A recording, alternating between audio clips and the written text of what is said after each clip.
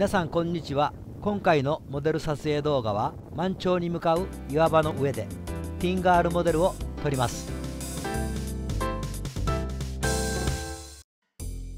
モデルは前回も登場したねねさんと初登場のココアさんです。そのモデルさんたちをフラッシュ2等ライティングでドラマチックに撮る方法をご紹介します。昼間を夜のように撮る day to night shooting。と言われるライティング方法です。以前この岩場で撮影した時あっという間に満潮になりほとんどの岩が見えなくなりました。この時も満潮に潮は向かっています。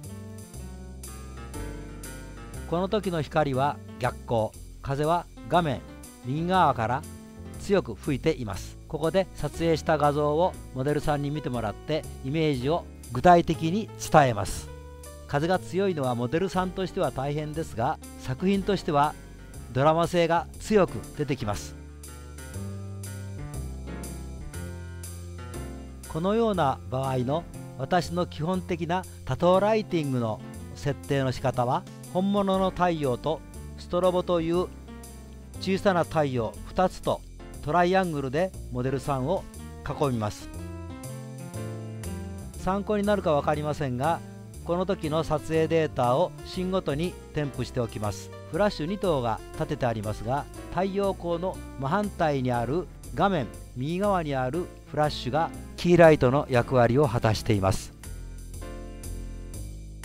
そのキーライトの役割は大変重要ですが画面左側にあるもう一つのフラッシュはモデルさんに素敵な陰影をつけるのに大変重要な役割を果たしているんですね。この時の撮影に使用しているレンズは広角レンズと標準ズームレンズの広角側がほとんどです。そのため下から煽って撮る広角独特の撮り方を多用しています。この姿勢で大切なことは腹筋も使いますが頸椎を痛めないように注意することが大切ですね。何度も痛めた経験者が語っています。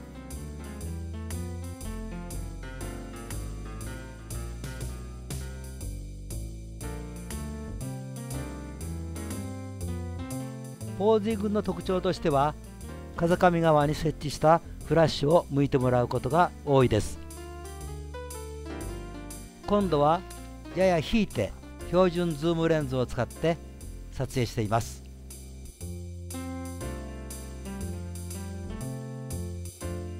背景にトーンが出てきたことでもお分かりのように太陽光がやや傾き始めています。太陽光が差す角度が時間ごとに変わります。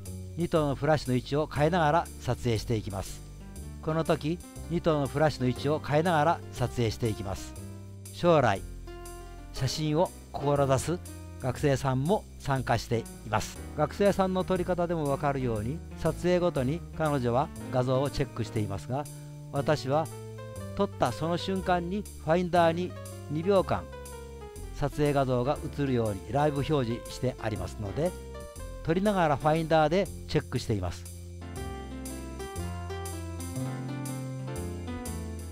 ちょっとしたことですがポートレート撮影にはそういうリズムが大切だと思っています。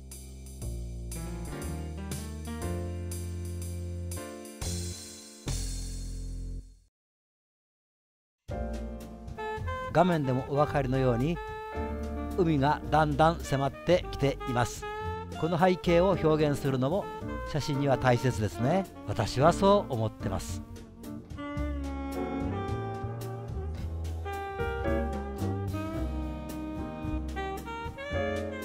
風がますます強くなりました。風に立ち向かっていくポーズに徐々に変わっていきます。今までは顔は風の方向体はその反対の方向というポーズが多かったのですが今度は体も顔も風の方向に向いてもらいました。レンズを見る見ないを繰り返しながら手を上手に表現してもらいます。ポートレートでは手の表情が仕草だと思っています。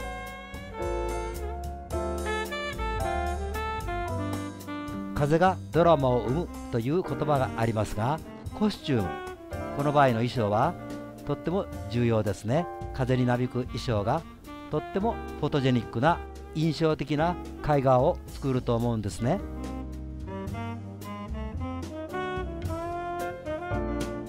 撮影時モデルさんに私は肩から来て肩から来てと言います。レンズ側の肩を私の方に向けてという意味です。そして手の位置がとっても重要で片手が上ならばもう片手は掃除気にならないそういう場所へ持っていきます。顔の反対側へ手を持っていく。仕草。だとか肘を使うとか。そういうことが多いです。今度は肘を突き出してもらいます。このポーズ意外と強い印象を与える写真を作ります。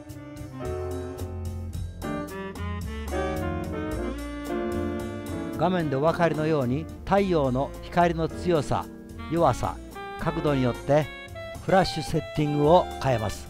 正面や真横から。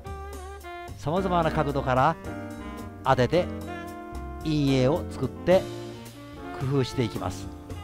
風も波もさらに荒くなり衣装が大きく揺れます。私はそれを撮ります。最後にこの時撮った画像とシーンを紹介できなかった画像も合わせてご紹介いたします。是非ご覧ください。ビーチでの岩場での撮影のモデルにご協力いただいたねねさんたちありがとうございました。皆さん最後までご視聴ありがとうございました。チャンネル登録お願いいたします。